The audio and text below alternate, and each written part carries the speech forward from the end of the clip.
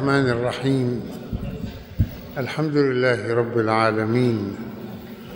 والصلاة والسلام على سيدنا محمد وعلى آله الطيبين وأصحابه المنتجبين وعلى جميع أنبياء الله المرسلين.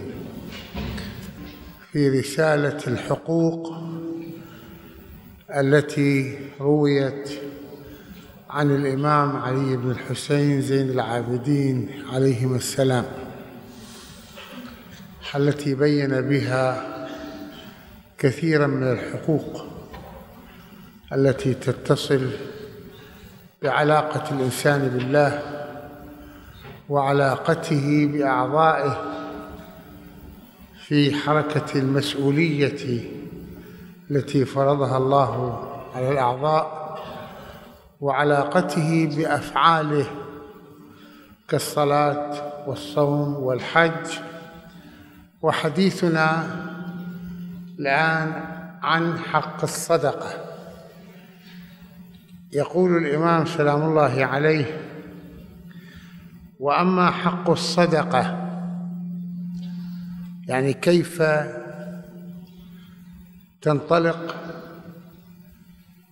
في حياتك في حركة الصدقة فيما تمارسه منها. لا بد لك من أن تعي معناها قبل أن تبدأها.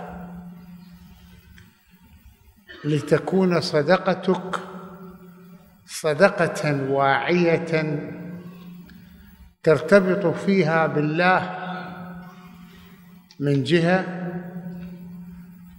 وبالإنسان من جهة أخرى. وبنفسك من حيث انفتاحها على الله وعلى الإنسان. وأما حق الصدقة فأن تعلم أنها ذخرك عند ربك. يعني هي الذخر الذي يذخره الله لك ويحفظه الله لك.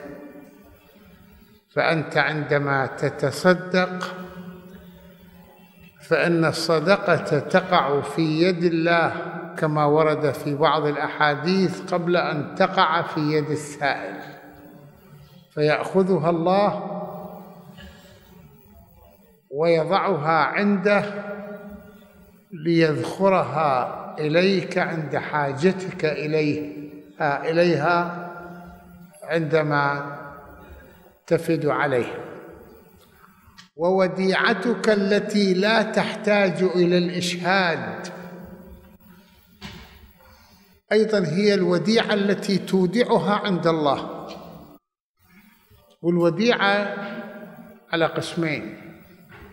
هناك وديعة عند الناس هناك وديعة عند الله.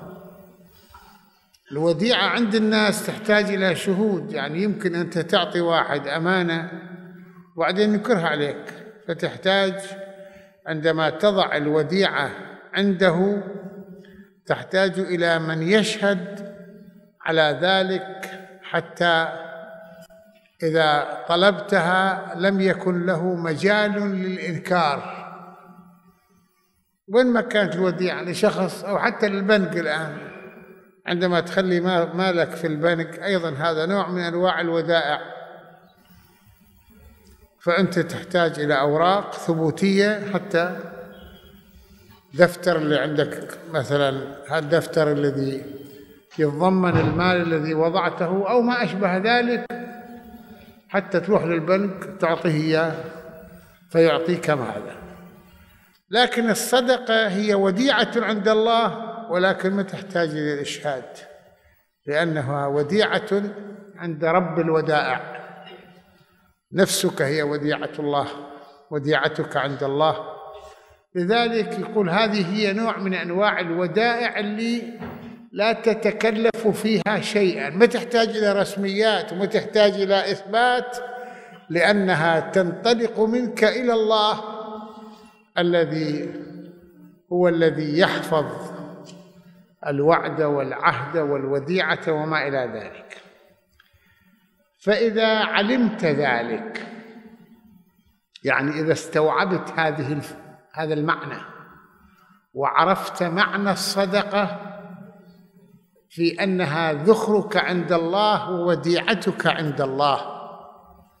يعني كأنك أنت كيف واحد عندما يبعث حوالة هو في المغترب ويبعث حوالة للوطن حتى تحفظ له من هالقبيل تعتبر الصدقة وبهذا. فأنت لا تعتبر أنك قد أحسنت إلى من تصدقت عليه. بل أنك قد أحسنت إلى نفسك لأنك وضعت ها مالك عند الله ليرجع إليك في وقت أنت أحوج الناس إليه. ولذا الله عبر عن ما ننفقه في الدنيا يعبر؟ وما تقدموا لأنفسكم من خير تجدوه عند الله. تقدم يعني أنت كأنك تبعث. هذا الشيء قبل أن تفد على الله أنت تقدم هذا بين يدي الله. فأنت في الصدقة تحسن لنفسك أكثر مما تحسن للآخر. وهكذا ورد في بعض الأحاديث أنه عندما يأتي السائل فكان يقال له بعض الأئمة عليهم السلام مرحبا بمن يحمل زادي إلى ربي. يعني كانوا لما يأخذ الفقير الصدقة منك فإنه يحمل هذه الصدقة إلى ربك. واحد أنت تبعث معه فلوس. إذا تبعث فلوس لأهلك ما تعتبر أنه هو أفضل عليك لما حتى يوصلها لأهلك؟ أنت هنا كأنه هكذا. فإذا علمت ذلك كنت بما بما استودعته سرا أوثق منك بما استودعته علانية. يعني عندما أنت تفهم أنك عندما تعطي السائل صدقتك فأنت تضعها وديعة عند الله ليجعلها ذخرا لك. هنا بعد ما ما في فرق بين السر والعلانية. بينما عند الناس لما توضع وديعة أنت بالسر تخاف عليها يمكن ينكرها. بالعلانية لا معروف الناس يعرفوا أنك أودعت عند فلان لكن عندما تكون الوديعة عند الله سبحانه وتعالى فأنت عند ذلك تثق بأنها ستصل إليك عندما تودعها في السر لأنه صدقة السر أعمق من صدقة العلن فأنت تكون واثقا بصدقتك هذه بوديعتك في السر أكثر من ثقتك بوديعتك في العلن.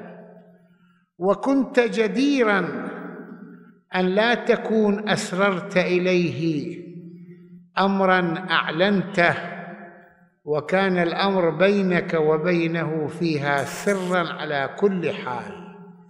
يعني أنت لما تصدق على واحد بالسر فأنت عليك أن تحفظ سرك وتحفظ سره. فلا تحاول أن تتحدث عنه أمام الناس.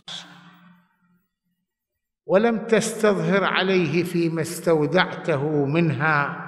بإشهاد الأسماع والأبصار عليه بها. يعني ما تحاول على أنك أنت أمام الناس تعطيه أمام الناس حتى هيك تشهد عليه شوفوا ترى أنا جاي أعطي فلان فلوس شوفوا على اسمعوا أنا راح أعطي فلان الكلام اللي بيني وبينك. لا لأنه كأنها أوثق في نفسك لأنك أنت لما تحتاج بالصدقة إلى أن تعلن صدقتك وإلى أن تشهد اسماع الناس وأبصارهم عليها فكأنك لا تثق بربك. لأن واحد إنما يحتاج أن يسمعه الناس كيف يعطي وديعته كيف يتحدث مع من يعطيه وديعته أو أو يريد أن ينظر إليه الناس بذلك. فكأنك من جهة أنت ما تثق بهذا الشخص. فإذا كانت الصدقة هي وديعة الله عندك أي حاجة بك إلى أن يسمعك الناس وأنت تتحدث مع من تتصدق عليه؟ أي حاجة إلى أن تجعل هذا الشخص تجعل الناس ينظرون إليك وأنت تتصدق؟ وكأنك لا تثق به في تأدية وديعتك إليك. يعني أنت معناه تريد تشهد على هذا الفقير في الوديعة التي تودعها عند الله لما تحتاج للناس كأنك ما تثق أن الله سبحانه وتعالى يعطيك وديعتك ويردها عليك ولذلك تحتاج إلى أن كأنك تشهد الناس على الله. يعني شوفوا أنا ترى خليت وديعة عند الله اشهدوا على الله. وهذا شيء طبعا لا يتناسب مع إيمانك بالله وثقتك بالله سبحانه وتعالى. فإذا امتننت بها يوصل حالة تعطي وأنا أعطيت وأنا أعطيتك وأنا ساعدتك وأنا أحسنت إليك بحيث أنك تحاول أن تمن عليه بما أعطيت. وهذه الله سبحانه وتعالى بال يعني بالقرآن قل قول معروف ومغفرة خير من صدقة يتبعها أذى. يعني أنت الآن تصدق على الإنسان وتهدم كرامته لأنك تمن عليه بما تتصدق به.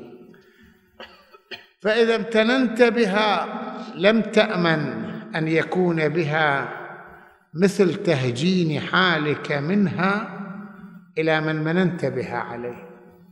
يعني أنت هذا يدل على أنك لست مخلصا في ذلك وأن نفسك لم تكن طيبة به وأنك لم تعطه من أجل مساعدته في حاله وفي أمره ولكنك أعطيته لتأخذ بذلك عند الناس مجدا ووجاهة ولتكسر كرامته في هذا المجال لأن في ذلك دليلا على أنك لم ترد نفسك بها. ولو يعني أنت ما تقربت لله حتى يرجع ذلك إليك وحتى تحصل على ثوابه وإنما أنت أعطيته للدنيا لتمتن عليه بها لتسقط كرامته أو لتستغله أو لتبتزه أو ما إلى ذلك. ولو أردت نفسك بها يعني قصدت أن تخدم نفسك وأن تجعل هذه الصدقة وديعة وديعتك عند الله وذخرك عند الله لم تمنن بها لم تمتد بها على أحد ولا قوة إلا بالله. هذا في رواية في رواية ثانية في الخصال هذه رواية في تحف العقول يقول وحق الصدقة أن تعلم أنها ذخرك عند ربك عز وجل ووديعتك التي لا تحتاج إلى الاشهاد عليها وكنت بما تستودعه سرا اوثق منك بما تستودعه علانيه إلى هنا نفس الكلمات اللي موجودة بالرواية الأولى موجودة بهذه الزيادة على ذلك وتعلم أنها تدفع البلايا والأسقام عنك في الدنيا. يعني أنه دور الصدقة هي أنها تدفع عنك البلاء وتدفع عنك الأمراض حتى ورد داووا مرضاكم بالصدقة وأن الصدقة تدفع البلاء وتدفع عنك النار في الآخرة. هذا دور الصدقة فيها هذا الجو العام للصدقة. هنا إحنا نأتي تدريجا إلى ما جاء في الكتاب وفي السنة حول هذا الموضوع بلحاظ أنها تتحدث عن التفاصيل. في القرآن الكريم خذ من أموالهم صدقة تطهرهم وتزكيهم بها. يعني هنا الله سبحانه وتعالى يريد أن يبين للنبي صلى الله عليه وآله أن هذه الصدقة التي تأخذها من المسلمين سواء كانت صدقة واجبة كالزكاة. أو صدقة مستحبة كبقية. الإنفاقات قربة إلى الله. قل هذه فائدتها لمن يتصدقون لأنك بذلك تطهرهم بها. لأنه المعروف في بعض الأحاديث أن الصدقة هي أوساخ الناس. يعني كيف انت الآن عندما تجي تغسل بدنك حتى تنظفه بإزالة الأوساخ عنه كيف تغسل ثوبك؟ كيف تغسل بيتك؟ أنت تغسل أموالك بالصدقة. فأنت كأنك تزيل أوساخ المال بهذه الصدقة. ثم فيها طهارة للنفس باعتبار أنها تربي الإنسان على العطاء يعني تزيل وسخ البخل لأن البخل هو وسخ نفسي. البخل مرض نفسي.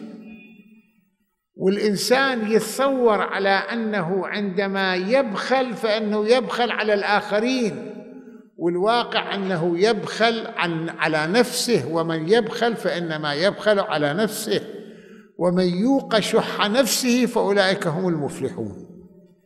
فدور الصدقة أنها تزيل عن نفسك هذا الوحل الذي يتمظهر بمظهر البخل الوحل النفسي. هذا الخلق السيء. وهكذا أنت عندما وهكذا وهذا هو الذي بلغ القمة عند أهل البيت عليهم السلام.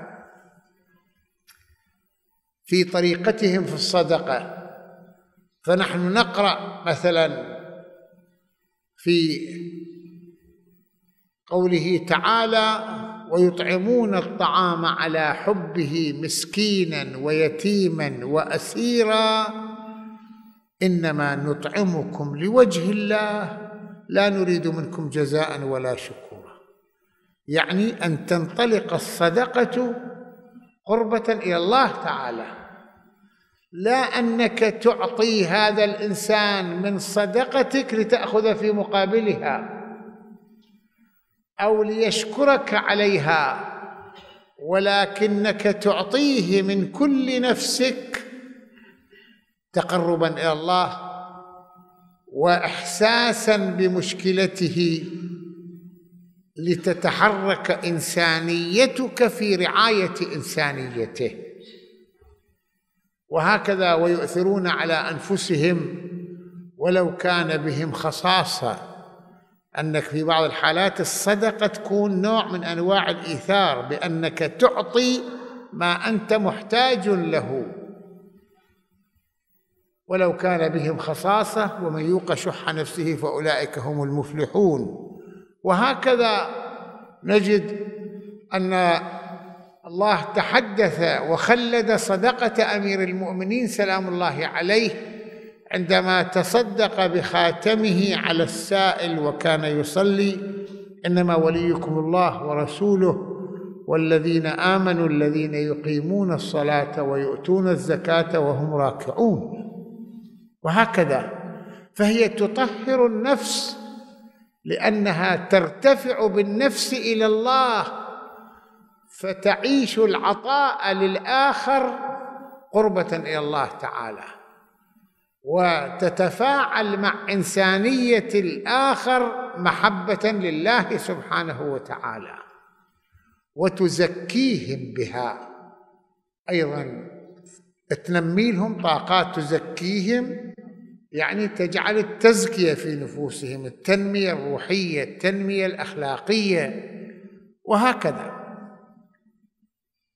خذ من أموالهم صدقة تطهرهم وتزكيهم بها. إذن على هذا الصدقه تصير مثل الصلاة. كيف الصلاة؟ تنهى مدرسة. الله أرادها أن يكون مدرسة للتربية. إن الصلاة تنهى عن الفحشاء والمنكر. الصدقة أيضا تطهر المتصدقين وتزكيهم. وترتفع بأرواحهم وتنفتح بهم على ربهم وتقربهم إلى الله سبحانه وتعالى وذلك من خلال ما يعيشون فيه من القيم الروحية التي تجعلهم يبذلون المال على أساس أنه مسؤوليتهم الإنسانية. وصل عليهم. يعني إذا أخذت منهم الصدقة صل عليهم يعني ادعو لهم. يعني يستحب الإنسان بحيث الشخص الذي بحيث يدفع الحقوق الشرعية أو الذي يتصدق أن يدعو له من يأخذ الصدقة ومن يأخذ الحق. وصل عليهم إن صلاتك سكن لهم. يعني يشعروا بالطمأنينة ويشعروا بالهدوء ويشعروا بالراحة الروحية. والله سميع عليم. وفي الحديث عن رسول الله صلى الله عليه وآله وسلم أرض القيامة نار. ما خلا ظل المؤمن فإن صدقته تظله. يعني جو القيامة هو جو لهيب كناية عن الحرارة واعتبار الشمس التي تقترب من رؤوس الخلائق كما ورد. يقول لكن المؤمن يعني لا ظل ما في عندنا بعض لا ظل إلا ظله الصدقة اللي تتصدق فيها أنت بالدنيا هي تتحول إلى ظل يظللك من حرارة الشمس. ومن لهيبها وإحراقها. وورد عن الإمام علي عليه السلام الصدقة جنة من النار الجنة هو الدرع الذي يقيك من ضربات الأعداء. والصدقة هي جنة من النار هي درع يقيك من النار ويحجب النار عنك. وفي الحديث عن رسول الله صلى الله عليه وآله إن الصدقة لتطفئ عن أهلها حر القبور وإنما يستظل المؤمن يوم القيامة في ظل صدقته. وفي الحديث عن رسول الله كل امرئ في ظل صدقته حتى يقضى بين الناس إلى ان ينتهي الله من القضاء بين الناس. وعنه صلى الله عليه وآله إن الصدقة لتطفئ غضب الرب. وعنه صلى الله عليه وآله إن الله عز وجل ليضحك يعني ليفرح ليسر. إلى الرجل كناية عن السرور وعن فرح الله طبعا. الله ليس جسدا ليضحك كما نضحك. إذا مد إلى الرجل لمتصدق. إذا مد يده في الصدقة ومن ضحك الله إليه غفر له. الذي الله يفرح لك فيما تعمل فلا بد له من أن يغفر لك. أنت تعطي صدقة لهذا الفقير وتحصل في مقابلها مغفرة الله سبحانه وتعالى. وعن الإمام الصادق عليه السلام لما نزلت آية الزكاة. خذ من أموالهم صدقة تطهرهم وتزكيهم بها. وأنزلت في شهر رمضان. فأمر رسول الله صلى الله عليه وآله مناديه فنادى في الناس إن الله فرض عليكم الزكاة كما فرض عليكم الصلاة. لأنه ولذا تشوفوا أغلب الآيات الموجودة في القرآن الكريم أقيموا الصلاة وآتوا الزكاة. في آية أخرى ألم يعلموا أن الله هو يقبل التوبة عن عباده ويأخذ الصدقات وأن الله وأن الله هو التواب الرحيم. يعني الله بين قبول التوبة وبين أخذ الصدقات بحيث أن الله يبين كأنه من رحمته للإنسان ومن لطفه به أنه إذا تاب قبل توبته ولو كانت ذنوبه كزبد البحر. وإذا تصدق فإن الله يأخذ صدقته. بيده تماما كما لو كان أعطاها لله بشكل مباشر. وقد ورد عن رسول الله صلى الله عليه وآله خلتان يعني خصلتان لا أحب أن يشاركني فيهما أحد. أخذ وضوئي فإنه من صلاتي. يعني واحد يجي يصب لك الماء على إيدك وأنت عم تتوضأ. قل لا بدي أنا عندما أتوضأ أن تكون كل وضوئي بحيث أنا أمارسه وأنا أتولاه بنفسي. وصدقتي أيضا ما أحب يشاركني فيها أحد. يجي واحد يعني أعطي الصدقة لواحد روح اعطيها لفلان. إذا أمكنني أن أعطيها لنفس الفقير. فإنها من يدي إلى يد السائل. فإنها يعني الصدقة تقع في يد الرحمن. فأنا بحب واحد عم يعطي الله سبحانه وتعالى وهو الذي رزقنا إياها وأعطانا إياها. الإمام الصادق عليه السلام يقول إن الله تبارك وتعالى يقول ما من شيء إلا وقد وكلت من يقبضه غيري. إلا الصدقة فإني أتلقفها بيدي تلقفا. يعني الله هو يأخذها رأسا. والنقطة الثالثة في الصدقة الله سبحانه وتعالى يبين الفرق بين الصدقة وبين الربا. لأنه المرابين يعني عندما هدفهم إنما هو تربية أموالهم. يقول لك عندي عشرة بكرة تصير مية بدين هذا بالمية كذا وبدين ذاك كذا. فحتى ينمي امواله بواسطة الربا. هنا الله يقارن بين الربا بين الشخص الذي يربي ماله بالربا وبين الصدقة.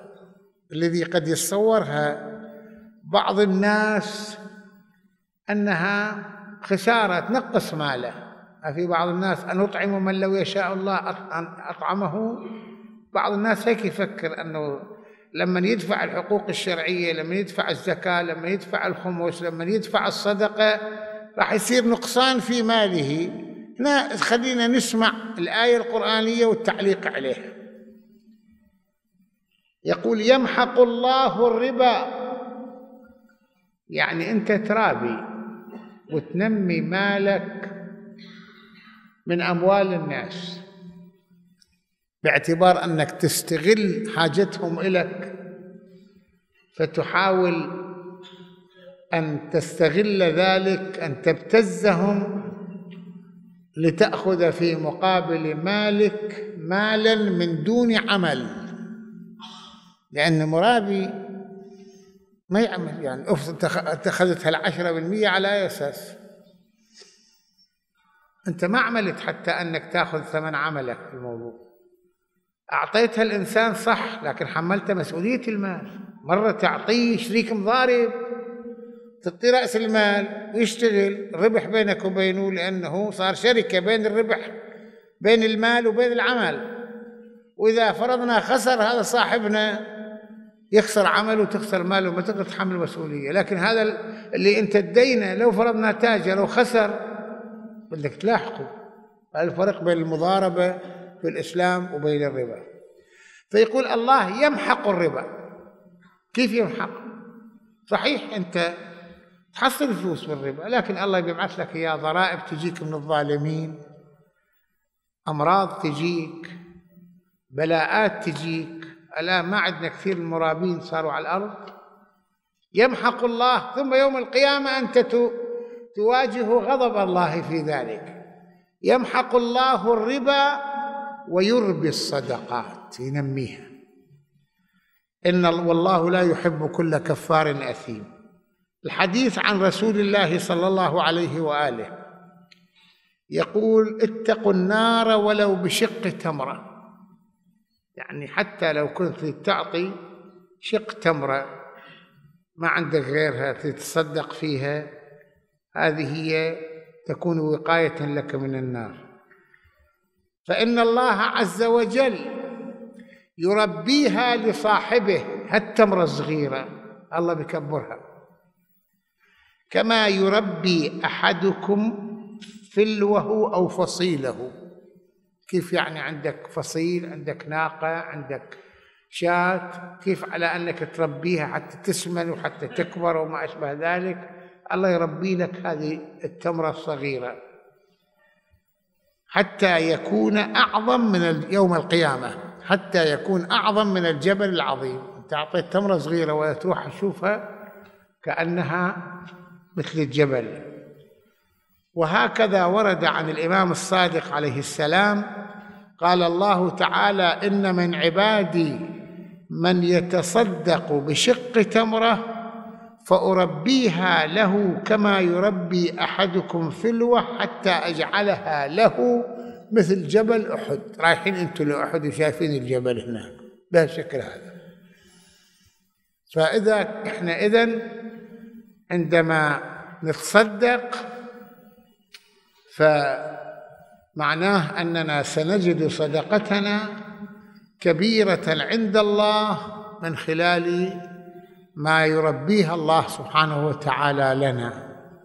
وطبعا في هالمسألة هاي يعني شق تمرة يمكن الكلام يجر الكلام. يقال أن شخصا في المدينة كان عنده تمر كثير. والمدينة بلد التمر. أوصى بأن ينفق تمر الذي عنده وهو كثير بعد موته. وجعل رسول الله وصية. فلما مات النبي جمع الفقراء. أو أنه أرسل لهم ابعثوا هذا إلى بيت فلان هذا إلى بيت فلان حتى نفد التمر وبقي التمر مسوسة النبي رفعها بيده كما تقول الرواية. وقال لو أن هذا الرجل تصدق بهذه التمرة في حياته لكانت أفضل من كل ما تصدقنا به عنه الآن